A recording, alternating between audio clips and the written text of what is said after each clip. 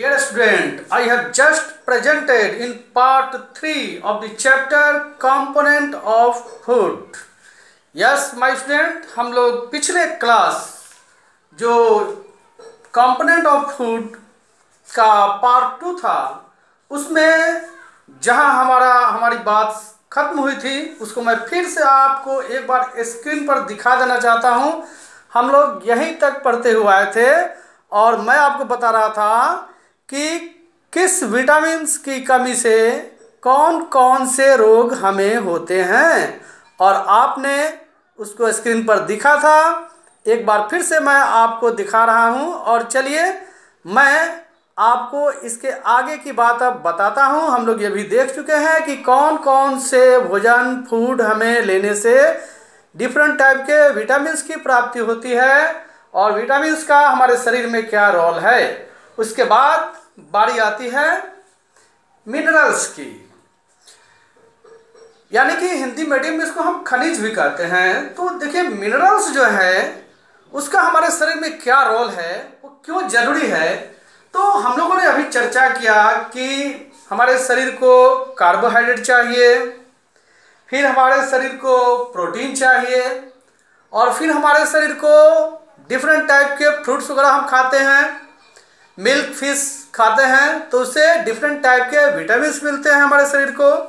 तो ये सभी तीनों तभी अच्छी तरह से काम कर पाते हैं प्रॉपर वर्क कर पाते हैं, अगर हमारे शरीर में मिनरल्स की मात्रा भी उचित हो। तो भाई वो मिनरल्स कौन कौन से चीज़ हैं? मैं उनका नाम कुछ आपको बता देता हूँ। जैसे कुछ वैसे भोज्य पदार्थ हैं फ़ूड मटेरियल्स हैं जिसे हम खाते हैं तो उसमें आयरन की मात्रा रहती है। मैं आपको बताऊँगा कि कौन से फ़ूड आइटम्स हैं जिसमें आयरन होता है। तो ये आयरन जो है आपका मिनरल्स का एक एग्ज़ाम्पल है। फिर calcium phosphorus iodine sodium etcetera ये सब मिनरल्स के एग्जाम्पल्स हैं। तो मिनरल्स क्या करता है? आप जितने भी फ़ूड लेते हैं, और उससे कार्बोहाइड्रेट और प्रोटीन और विटामिन मिलते हैं, इन सबको प्रॉपर वर्क करने में मदद करता है, यानी कि उनको सपोर्ट करता है। In English you can write this as some substances are required for normal functioning in the body and they are called minerals clear there are many types of minerals. For example iron calcium phosphorus iodine sodium potassium and fluorine. And now we will discuss what is the role of minerals. Minerals helps in the proper utilization of other nutrients in our body clear student अब हम चर्चा करते हैं कि जितने type के minerals हैं, उनके सोर्सेज क्या हैं क्या क्या खाएँगे तो हमें ये मिनरल्स मिलेगा। तो सबसे पहले हम चर्चा करते हैं आयरन वो कौन से फ़ूड है जिसे हम लेंगे तो हमें आयरन मिलेगा। तो उसमें आपका आ जाता है एग्स और फिर स्पाइनेक पालक जिसको आप कहते हैं, वो उसमें मिनरल्स भरपूर होता है। हमें वो खाना चाहिए। फिर ज्वार, बाजरा ग्राउंड नट भी आता है उसमें, और ग्रीन वेजिटेबल एक चीज़ आप याद रखेंगे स्टूडेंट ये जो मैं ग्रीन वेजिटेबल्स का भी नाम लिया ना, ये एक ऐसा नाम है जो डिफरेंट टाइप के मिनरल्स में काम आता है। मैंने अभी जैसे आपको बताया कि अगर हम ग्रीन वेजिटेबल लेते हैं तो उसमें आयरन की मात्रा है। अगर आपसे फास्फोरस का, कैल्शियम का सोर्स पूछा जाता है तो एक ग्रीन वेजिटेबल तो ज़रूर ही याद रखना, नहीं तीनों में बोल दीजिएगा। एक नाम, तीन काम। चलिए आगे बढ़ते हैं। कैल्शियम। क्या क्या खाने से हमें कैल्शियम मिलता है? कैल्शियम से भरपूर फ़ूड कौन कौन से हैं? तो मिल्क है उसमें। और मिल्क प्रोडक्ट मिल्क प्रोडक्ट मतलब बहुत सारे जो मिल्क से बने हुए जितने भी चीज़ हैं, वो सब मिल्क प्रोडक्ट कहे जाएँगे। उन सब में भी जो है, कैल्शियम भरपूर मात्रा में पाया जाता है और उसके बाद मीट होता है आपका, मीट आ जाएगा उसमें, फ़िश आ जाएगा, और अभी मैंने बताया, एक ग्रीन वेजिटेबल इसमें जोड़ दीजिए, क्लियर? अब हम चर्चा करते हैं फॉस्फोरस कौन कौन से भोजन हम खाएँगे तो हमें फॉस्फोरस मिलता है। तो फॉस्फोरस के लिए मिल्क, फ़िश, और मीट, और ग्रीन वेजिटेबल जोड़ दीजिए इसमें, clear?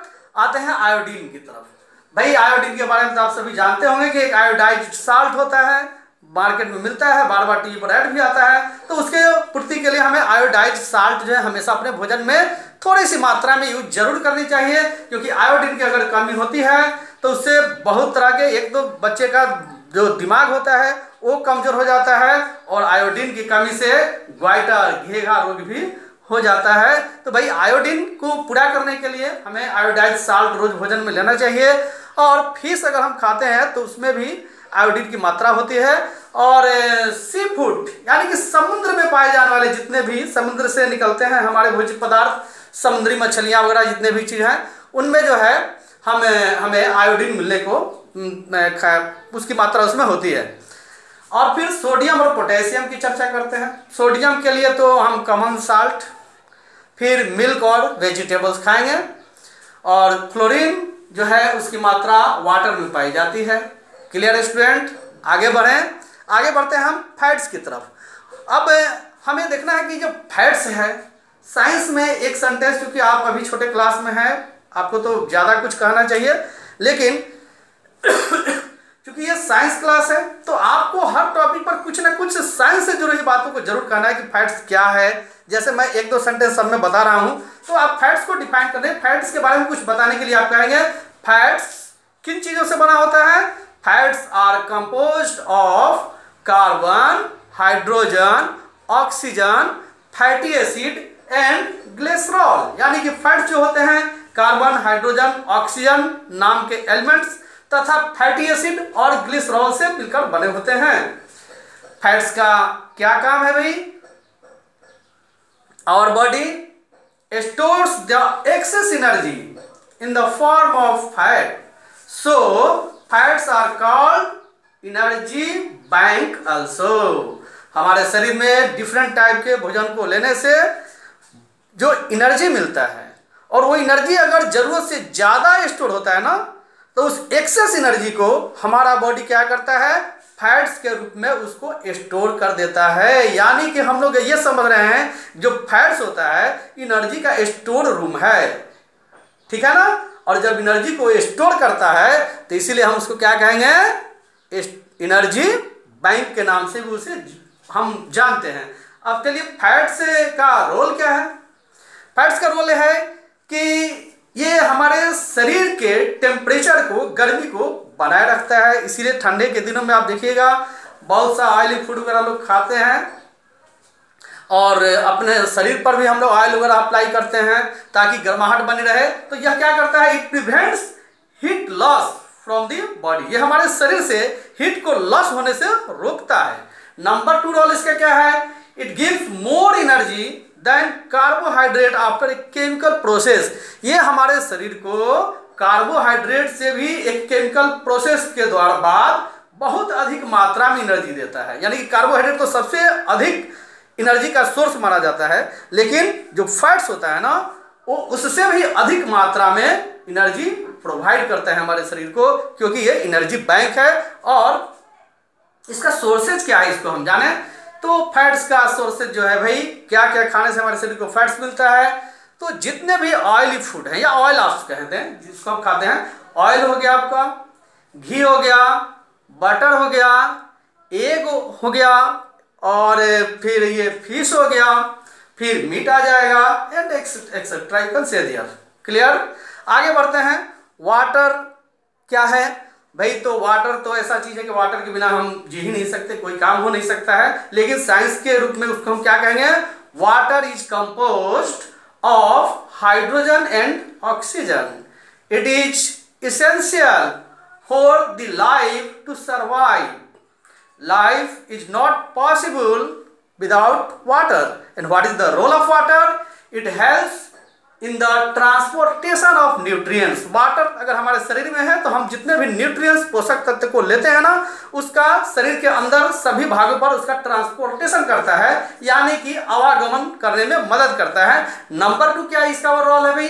It helps in the expression of the body waste हमारे बॉडी के जितने भी वेस्ट हैं, जैसे कि स्वीट पसीना यूरिन वगैरह, उसको ये डिस्चार्ज करने में मदद करता है। और नंबर थर्ड इसका रोल ये है it maintains the body temperature हमारे शरीर के टेम्परेचर को भी ये मेंटेन करता है। और चलिए, अब यहीं पर एक तुरंत छोटे से एक चीज़ और आता है, जिसको हम समझ रहे हैं डिहाइड्रेशन क्या है भाई?